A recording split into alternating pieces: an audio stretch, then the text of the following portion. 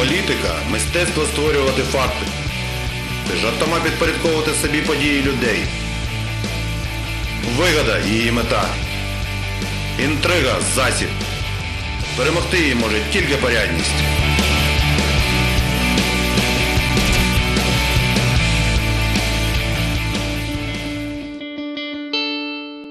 Добрий вечір, шановні глядачі. В ефірі програма в деталях. Та з вами ведучий Андрій Острів та Ігор Пох. Здравствуйте. Е, Сьогодні ми повернемось до такої теми. е, Миколаїв це місто корабелів або це втрачене звання. І е, на, на початку хоч, хочемо вам дати змогу подивитися невеличкий сюжет.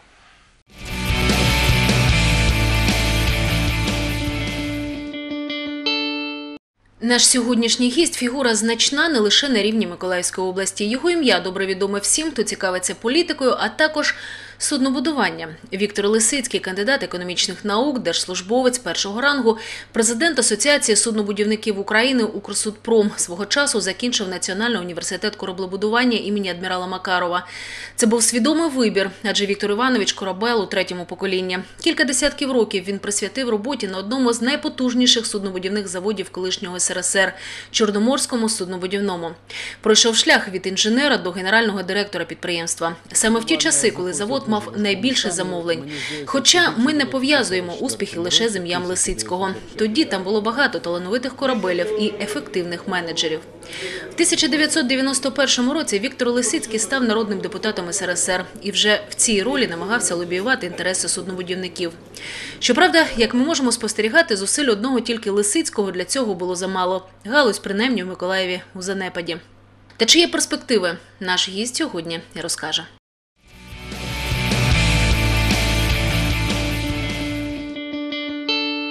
Як ви бачите, тема е, суднобудування це е, тема, яка хвилює, мабуть, е, мабуть, всіх, і маючи такі великі спроможності, е, великі заводи колись. е, Суднобудівні, можливо, не все втрачено. І сьогодні ми е, вирішили поспілкуватися на цю на цю тему. Людину майже легендарну щодо суднобудування, суднобудівника в, в третьому поколінні, як, якщо я не помиляюсь, Третьому, третьому. третьому. Це Віктор Лисицин. Добрий вечір. Добрий вечір. Ну і саме головне питання, на, е, на, яке нас дуже хвилює, можливо чи ні відбудувати суднобудівну, е, суд- суднобудівельну славу Миколаївщини. Безумовно. І ви знаєте, я хочу в першу чергу привернути увагу глядачів, що сьогодні насправді в світовому суднобудуванні склалася не дуже, скажімо, приємна ситуація для суднобудівників. Чому? Тому що попит на нові суда, як говорили, новострой. На оцей новострой, на цю новобудову, він останніми роками впав, причому суттєво впав. І в багатьох країнах світу стоять е, тільки-тільки щойно побудовані судна і не експлуатуються, тому що судновласники, ті, що замовляли ці судна, вони від них повідмовлялися. Такий, е, така ситуація є. І я, власне кажучи, жартую. Надо було на їх, на їх голову газплан спустити. Почому? Тому що протягом приблизно 7-8 років, як не більше, судновласники е, дуже високими темпами нарощували замовлення на будівництво суден. Вони е, оці замовлення за ці 7, 8, можливо 9 років виросли приблизно в 3-4 рази. Це був, знаєте, просто якась, якась була, знаєте, істерія. І доходи, доход, ну навіть коли порівнювати з тим флотом, що є реально на озброєнні, так сказати, на е, експлуатується бізнесом, то взагалі виникало, е, вони викликали ці числа подив. Тому що якщо тра, танкері, танкерів, припустимо, чи сухофантажів було замовлено в обсягах приблизно 30% від кількості суден, що експлуатуються, якщо рахувати по дедвейту, то виникає питання, нащо це? Тому що ці судна, ну, транспортні судна експлуатуються 15, 20, 25 років. Тобто треба щорічно будувати ну, максимум 10%. Нарощувати загальну кількість, так? Якщо взяти, взяти, припустимо, саму динаміку перевезень морських, це надзвичайно важливий показник, тому що 90% експортно-імпортних перевезень забезпечується морським і водним транспортом, світових перевезень. Це абсолютно офіційна статистика. І ця статистика вона дуже приємна. Ці обсяги перевезень зростають фактично після 86-го року, практично безперервно. За винятком 2009 року була просадка невелика, а потім зростають середньорічними темпами в натуральному вимірі. В натуральному вимірі, не в вартісному. Вартісні там ціни можуть е, викривлювати динаміку. Зростають з темпом десь більше 3%. А перевезення, припустимо, контейнеровозами взагалі 7-8%. Контейнеровози це е, такий дуже прогресивний вид транспорту і таке інше. Все це зростає. А у суднобудівників все впало. Чому? Тому що судновласники просто е, до 2008 року вони розогнались. І є такий показник е, замовлений тонаж, е, офіційна статистика. Я все користуюсь тільки цими, тими даними, які є офіційними, які публікуються світовим. е, е, вірніше світовою організацією торгівлі ЮНКТАД і International Maritime Organization, Міжнародна морська організація і спорідненими організаціями. Так от темпи зростання були, ж говорю там, шалені. Складалося враження, що ви збираєтесь 30% танкерного флоту поміняти? А що робити з тими суднами, які ще є, що можуть експлуатуватися? Що з ними робити? Це була просто величезна помилка. І оцей World тонаж on order, замовлений тонаж, зростав дуже високими темпами. Зараз все зупинилося. І от приблизно з 2010 року по цей час обсяги замовлених транспортних суден вірніше, всіх суден, які проходять через статистику ЮНКТАП, тому що там є навіть такі там, типа е, портові судни, судна і так далі, вона впала приблизно в 4 рази. І зараз оце, що, те, що замовлено, воно має не просто судновласника потенційного, Воно має це судно буде мати завантаження, котре сьогодні будується. Коли е, воно е, коли судновласник е, викупить його у суднобудівника. От така от шалена, скажімо, помилка була, я би сказав, так, морської індустрії світу. Ну, світу. а наразі, на, на- наразі, тобто існує зараз попит на, на судно, суднобудівний попит. На суднобудівний по- е, судна попит радикально впав. Хоча на окремі класи, підкласи суден такі, е, е, попит, такий попит фактично є. Тобто, ну, до мене зверталися то з Ірану, то останнє було з Арабських Еміратів через наших послів. Що винюхують. А що можете, що не можете, а що, як? Ну там ми даємо пропозиції, я співпрацюю з нашими КБ Миколаївськими. От, е, співпрацюю, е, зокрема, той, що Юрій Жуков керує, а цим КБ ми співпрацюємо, вони постійно дають реальну абсолютну інформацію, що можна, як можна, які судна можна проєктувати, які не можна. Там, ну, ну, поки що світ вичікує. Тому що я ж знову говорю, що е, ну, якщо взяти, припустимо, продуктивність морського транспорту у цілому, то за рахунок того шаленого е, е, значить, китка вгору по замовленнях транспорту, сьогодні вона впала приблизно на 40%. 40-50%. Ну, шалене падіння. Будь-який виробничий, будь-який бізнесмен розуміє, якщо віддача твоїх основних засобів, будь-яких, токарний станок, і ще що завгодно, транспортне судно, якщо вона падає на 40-50%, то, пардон, ты очень сильно просчитался, видимо, з заказами на будущее. Вот так воно і відбулося. Хоча попит на окремі є судна.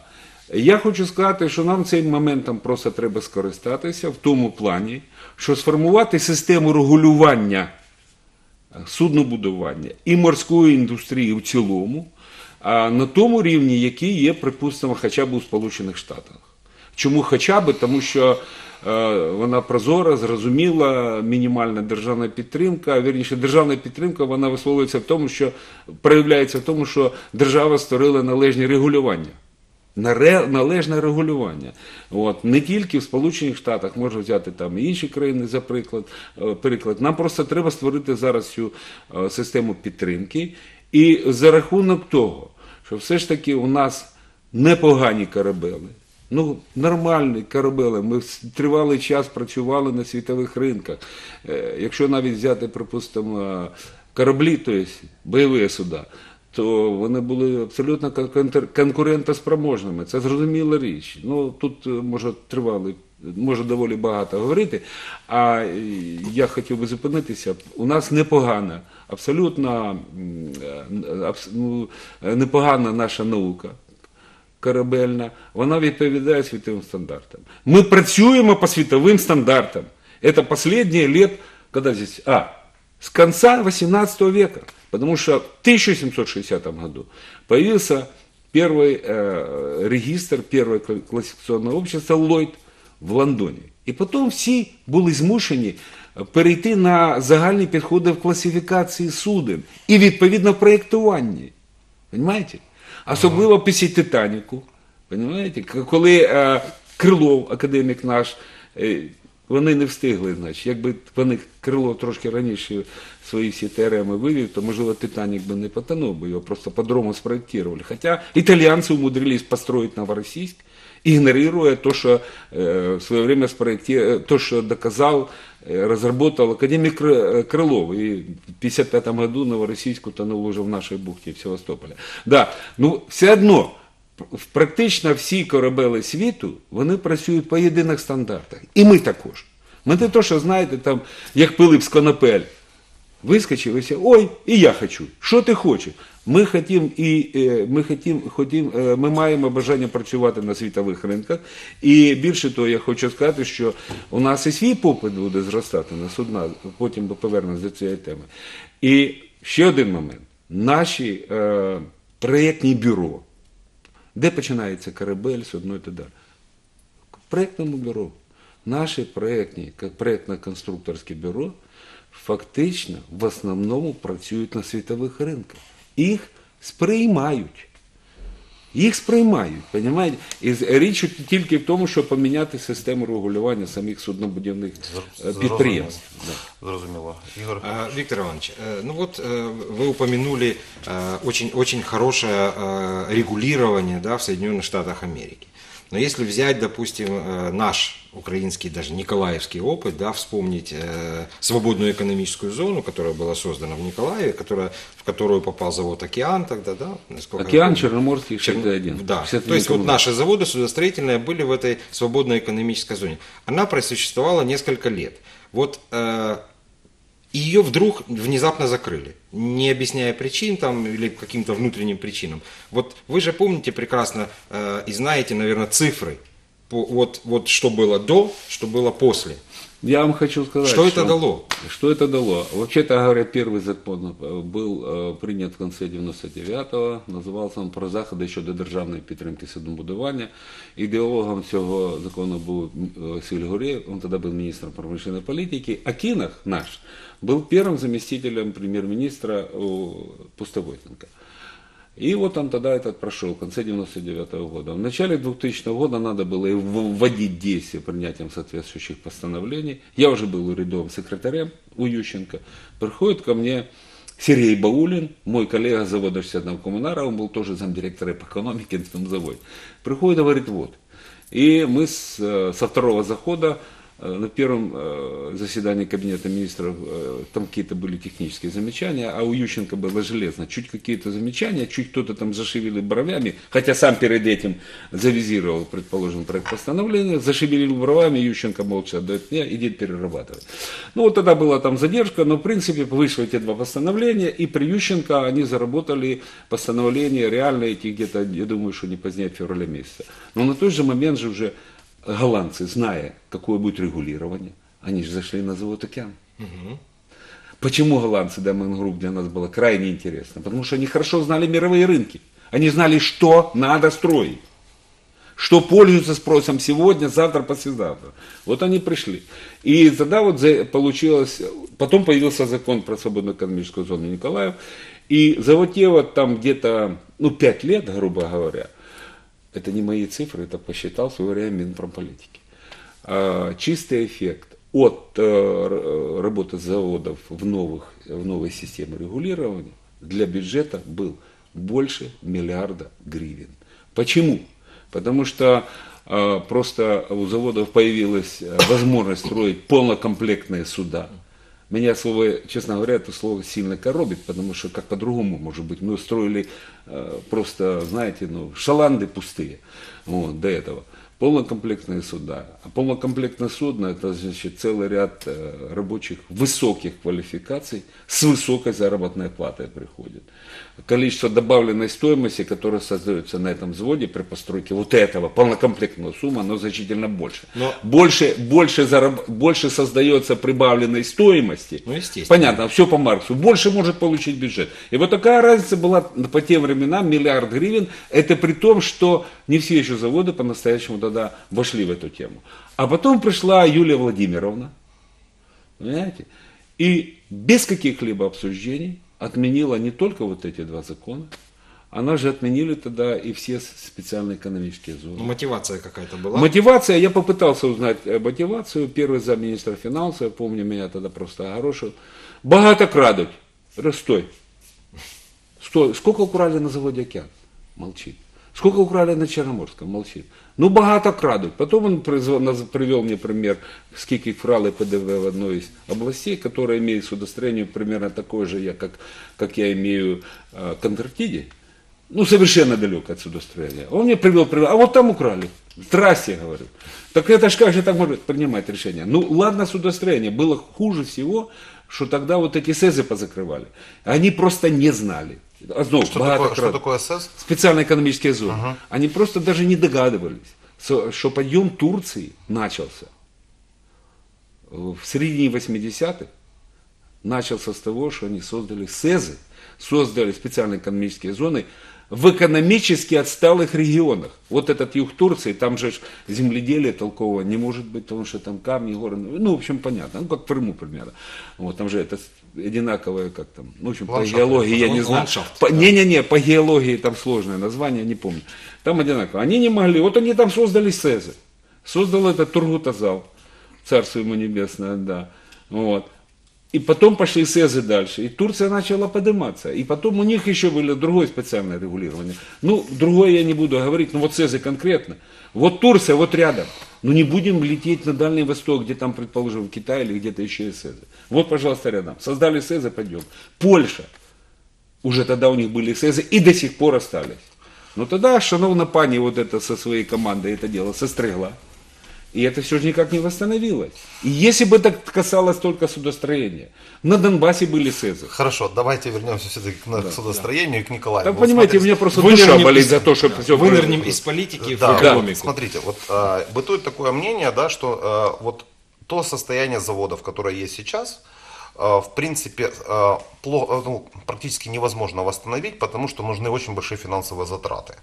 А с- Затраты именно возобновить это производство. Кроме того, очень много было утеряно кадров ценных, которые сейчас работают там за границей, собственно говоря, бо- бо- большая, большая часть уехала за границу по специальности работать, а те, кто уже, собственно говоря, остались здесь, это уже, в принципе, пенсионеры. А нового поколения корабелов мы как бы не вырастили, ну так получилось, которое бы было у нас, ну, а та молодежь, которая каким-то образом получила там специальности, например, у того же там э, Южной судоремонтной э, компании, очень часто уезжает там, за рубеж на другие, совершенно другие зарплаты. А, вот смотрите, если если вы говорите о том, что, в принципе, у нас есть шанс в- возобновить, но а кто может проинвестировать такое большое количество денег? То есть там по, э, по одной из статистик я слышал о том, что для того, чтобы запустить в Николаеве судостроение, нужно там какая-то там сумасшедшие какие-то миллиарды просто. ну, Там, то есть не, не даже не, не, миллион, не 100 миллионов 200, а за миллиард глубоко. Кроме того, очень много порезано было и вывезено на металлолом. Ну, то есть, ну, это вообще отдельная история, и все мы знаем, какая сейчас ситуация на заводе 61 коммунара, которая происходит, там, людям зарплату не платят и так далее.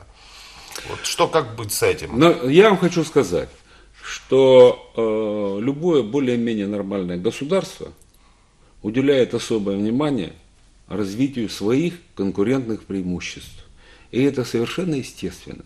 Если у государства, предположим, э, главный бизнес выращивать кофе, то не надо и пытаться выращивать кукурузу или там еще чего-нибудь, я не знаю, понимаете?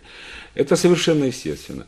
У, если говорить про э, Николая в частности и Украину в целом, морская индустрия Украины в целом, судостроение в частности, есть нашим важнейшим конкурентным преимуществом.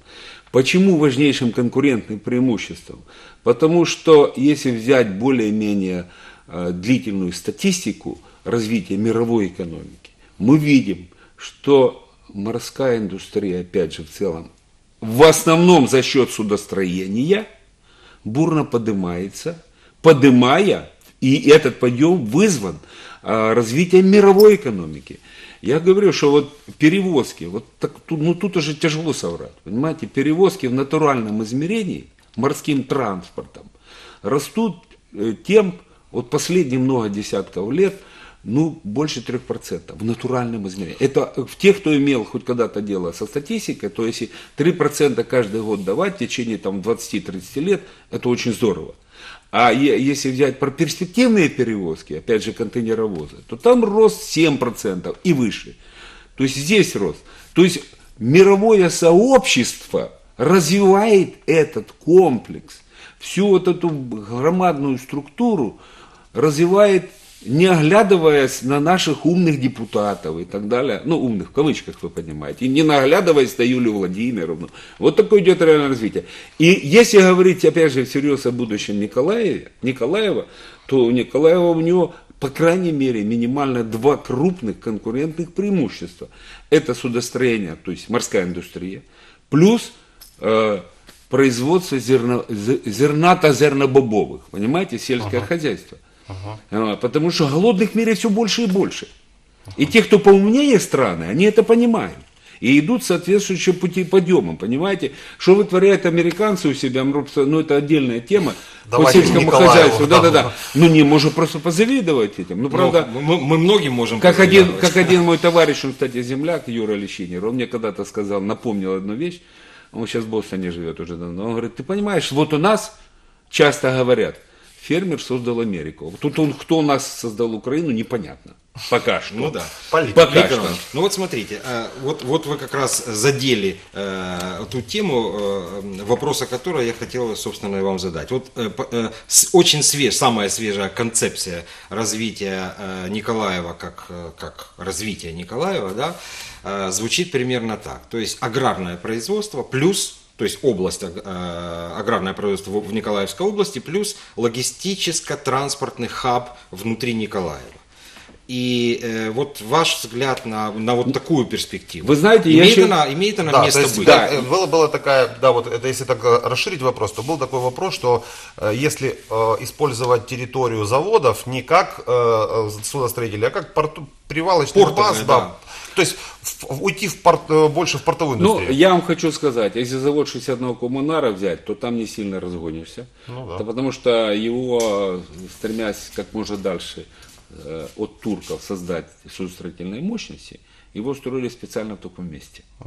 Это же известная вещь. Потому что туркам добраться до 61 коммунара, где, ну, Адмиралтейского завода, там, где он был построен, было значительно сложнее, чем если бы его построили, скажем, на месте Черноморского завода или э, завода «Океан». Э, остров, артиллерийский остров напротив Черноморского завода, это тоже же искусственное было создание. Его же создавали, насыпали, чтобы туркам не, не пропустить. Э, Завод «Океан» там отдельный разговор, я сейчас тоже э, скажу свое мнение о нем. Вот. Э, Дальше. Если же говорить, предположим, мой родной завод, ну, при большевиках у нас была площадь 330 гектаров. Сейчас я понимаю, что там зашел не Булон, сколько-то, ну, я не знаю, наверное, пару десятков гектаров к нему отошло. Ну, не 100 гектаров. То есть, в принципе, там большие площади. И э, вот если с точки зрения того, что большие площади земли, находящиеся возле водных путей, используются недостаточно эффективно, и в этой связи логистический центр может э, быть таким своеобразным генератором роста. Я, если вот так вот рассуждать, то я, конечно, я думаю, что стоило бы эту идею серьезно обсуждать. Но тут другой вопрос. Ну, как оттуда увозить грузы, можно догадаться. А как привезти туда? Тут еще такое. Ну, это виднее тем, кто К выступает сожалению, к сожалению, практически время нашей э, передачи закончилось, и я очень благодарю, э, собственно, вас за то, что вы пришли. И, э, можно было бы бесконечно говорить, но с Да. специалистами всегда приятно говорить. Меня тяжело остановить в этих случаях. Все-таки, ну, все-таки хорошо, что э, надежда есть, и, собственно говоря, вот вы как, э, как человек, который там в трех поколениях корабел, ну, заявляете Жена у меня в четырех поколениях. Ну, значит, вообще сімейний подряд. Сімейний Що ж, е, шановні глядачі, ми е, мусимо з вами проститися. До побачення. Е, Сподіваюся, що, е, ви е, зробите свої висновки з нашої пере- передачі та дивіться нас кожної п'ятниці в 21-й, як завжди. Дякую. Дякую.